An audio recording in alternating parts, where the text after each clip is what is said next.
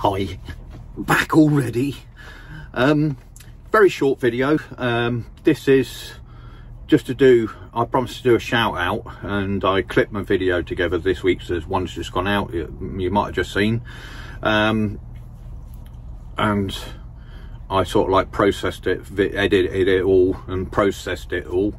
Uh, remembered I've promised to do the shout out.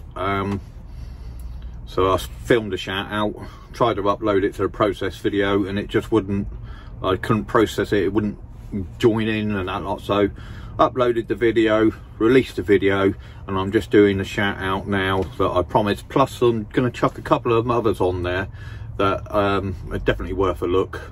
Um, sort of fairly new YouTubers and uh, you know I think you guys will enjoy them.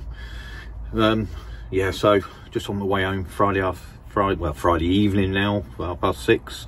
Um, I just had to stop to get me uh, COVID test. No, I ain't got COVID. Don't worry. No, it's um, the new law that's come in um, when you go when you go abroad. All inbound um, lorry drivers, you have to have a COVID test within two days of being back, three days after that, and then three days after that. So I got my first one done last Friday night. Tuesday and now today.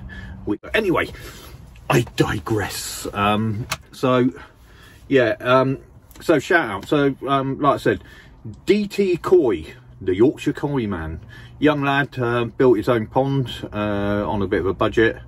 Um, he was trying to get to 250 subscribers. I believe he's actually past that now.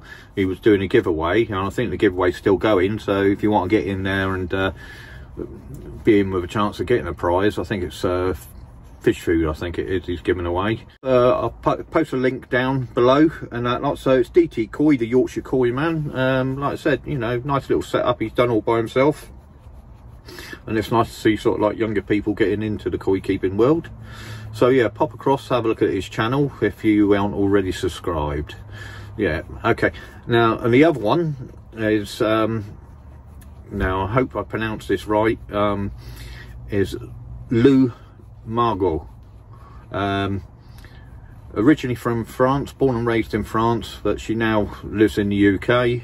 Um, used to have a um, preformed pond, uh, now started building her own raised sleeper pond uh, all by herself and you know it's going to be a cracking little setup when it's done. And um, she's been a subscriber of mine for quite a while. And um, now she started doing her own YouTube channels.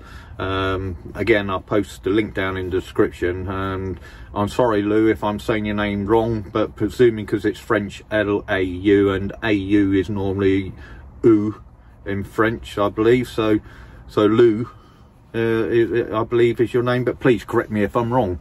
But yeah pop over have a look at her channel. Um it, like i said it's gonna be a cracking pond when it's done when it's all done.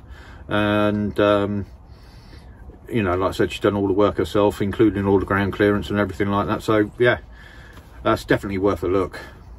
Another channel and also is lee Hatfield. um absolutely stunning pond um set up uh, the setup and everything like that's fantastic fantastic house, fantastic garden, man cave, huge garage, workshop, everything like that. I mean, it's, yeah, jealous. He's got it all. Um, but yeah, definitely worth a look just for that. And if not just for that, I mean, he's mad as a hatter in a nice way. I mean, yeah, completely bonkers, really good personality. Um, yeah, I think you'll enjoy his videos so again so lee hadfield again link in the description down below and another shout out to my good friend chris stubbins in uh, canada i think i've mentioned his channel once before um, again chris has uh, been keeping fish of all descriptions for a long time. He's got uh, a man cave stroke fish room with his indoor tropicals and um, some of his smaller koi and tanks. And then he's got his koi pond outside. Quite interesting to see how uh, people in sort of places like Canada where you get really cold winters deal with uh, winter compared to how we deal with winter and koi keeping in in the UK um, you know it's almost total opposites for a lot of people you know they don't believe in heating a lot of them don't.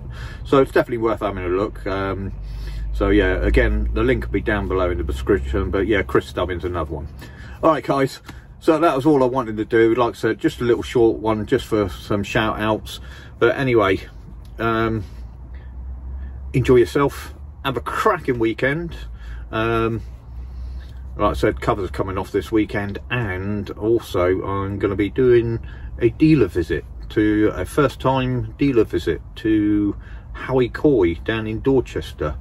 Um, so close to my house, and I never realised they were there until I sort of found them on Facebook. It's, and um, sort of like reading all the testimonials and everything like that. Sounds like a really good place with really friendly people. So I, rang them up today and said, "Can I come down?" And they said, "Yeah."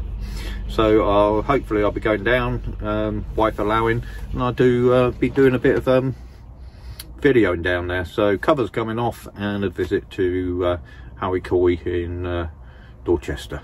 All right, guys, stay safe, and I'll see you very soon. Bye.